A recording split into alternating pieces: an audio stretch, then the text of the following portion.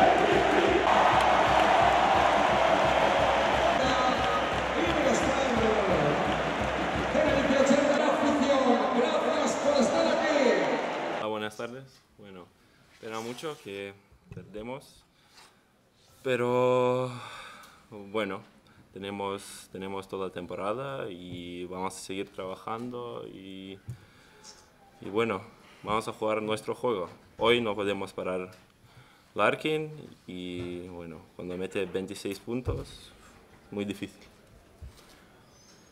Eh, ¿Preguntas para Marius, por favor? Hola, Mario.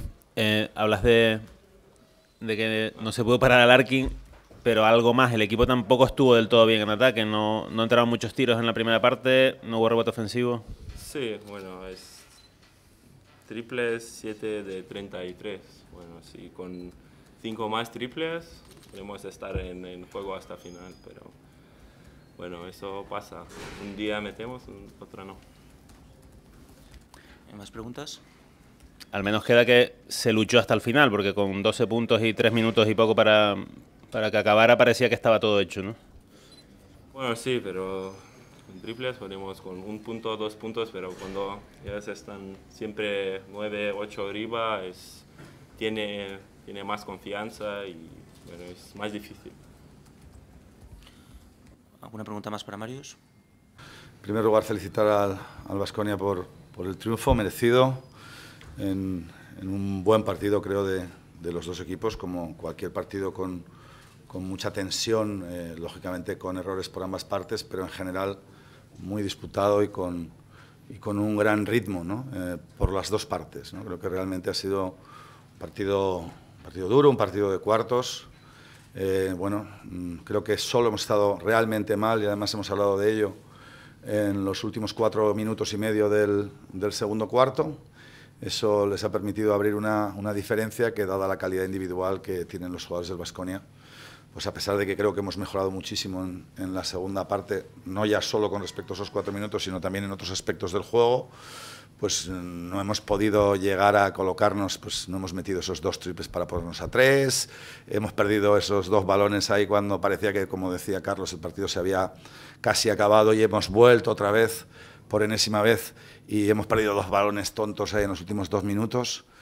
Bueno, yo creo que el, el balance que tenemos que hacer de, de, esta aventura, porque para nosotros hoy era, era, una aventura, es sumamente positivo y voy a dar sobre todo pues eh, tres datos adicionales al ya sabido de que para ganar en Vitoria pues tenemos que meter 10, 12 triples y tiramos 30, ¿no? y solo hemos metido 7.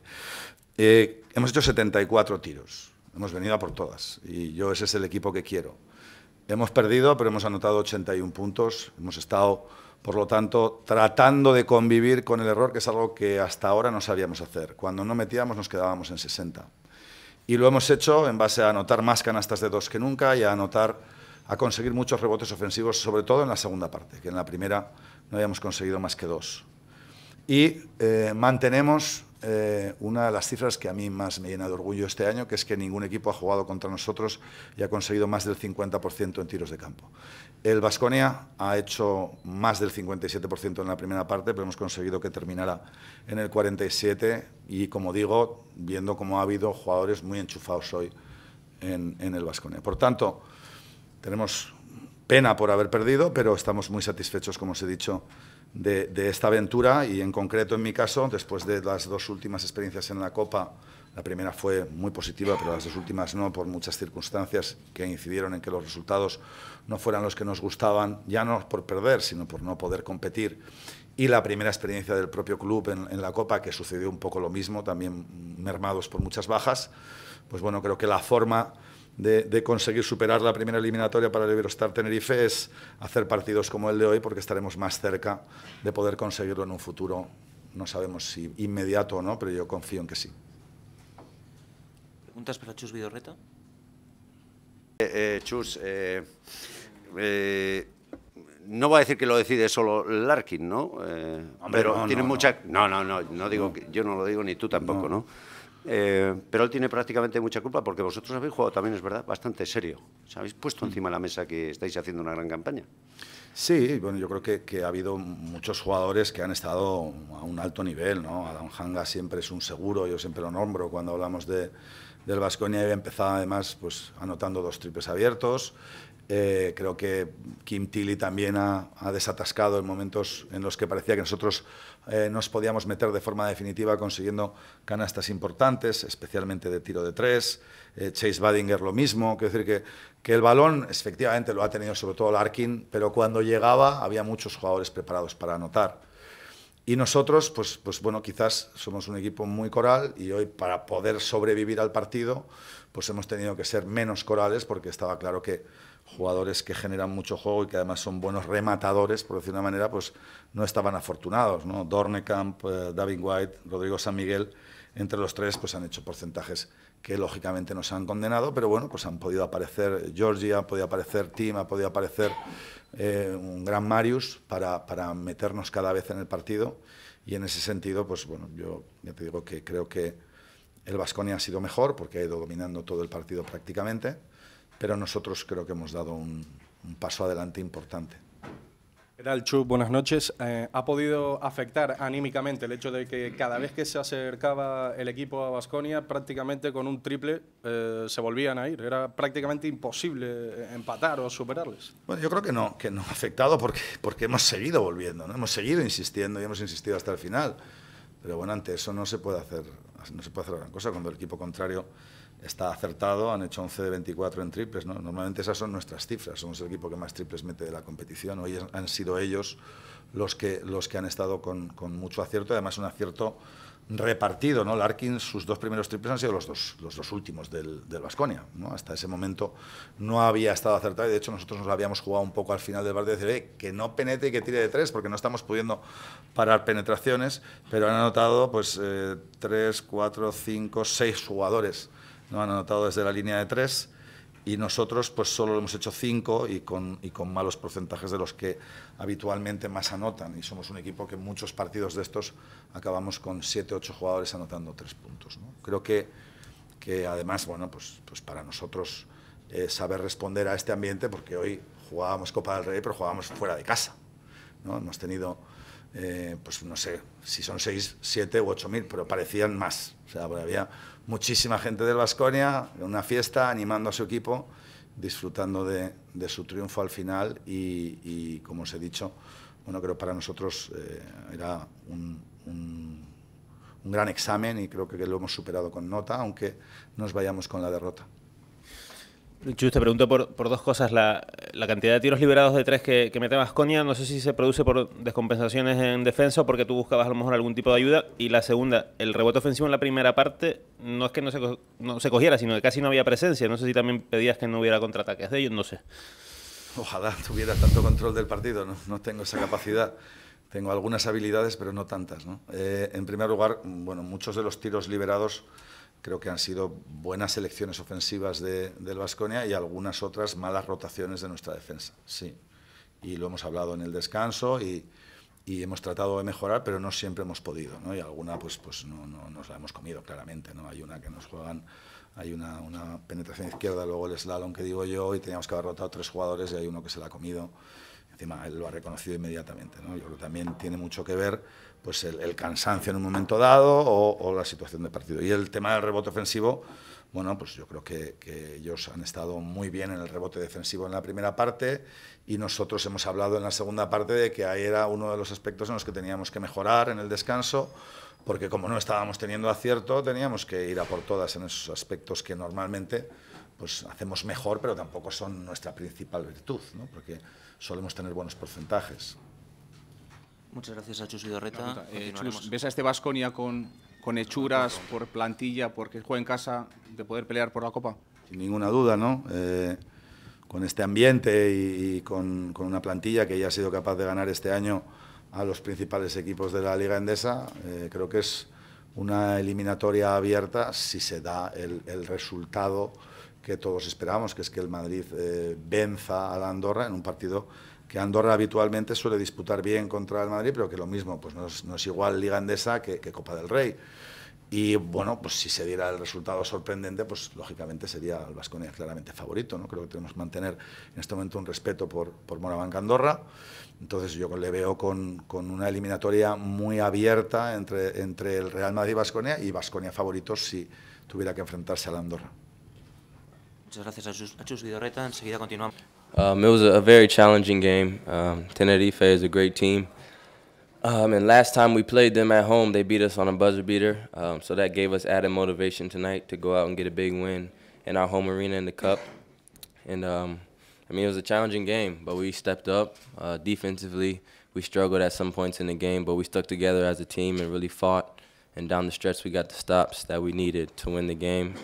And um, our, our fans were amazing. Uh, they gave us that extra boost of energy when any of us were tired or uh, didn't have the energy that we needed. They gave us that extra boost, and um, we'll need it again on Saturday. So, thanks to the fans for that. El partido fue un auténtico desafío porque el Tenerife es un equipo muy bueno. Eh, esto nos ha dado una motivación extra para ganar el partido. Trabajamos muy bien, sobre todo en defensa. Hubo momentos en que se hizo la cosa bastante más difícil, pero el equipo logró cerrar filas y trabajar junto, y eso nos ha hecho ganar. Y también, qué decir de los fans, ¿eh? la afición ha estado increíble y eso nos ha dado una energía suplementaria eh, cuando más lo necesitábamos. Entonces, ellos eh, nos ganaron anteriormente en casa, en el último momento. esta misma energía que nos han dado los fans es la que vamos a necesitar el sábado. Gracias, fans. Buenas noches. Bueno, primero de todo, quiero felicitar al equipo. Creo que ha hecho un trabajo fantástico ante una adversidad grande. Digo adversidad por las situaciones que genera abrir la copa, por las situaciones que genera ser el anfitrión, por las situaciones que genera jugar contra un rival pues, que está en racha y que es uno de los más importantes de la competición en estos momentos y al que cuesta mucho ganar.